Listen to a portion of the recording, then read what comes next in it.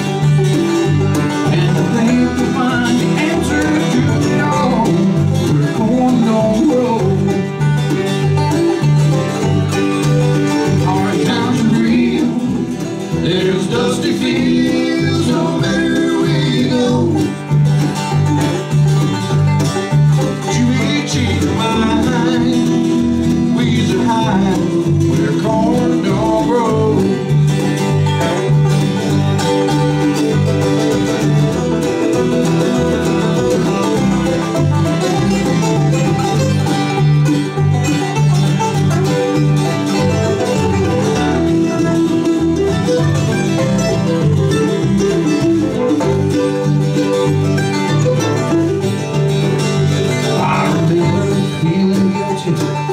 Daddy turned and walked back in the house. I was only 17.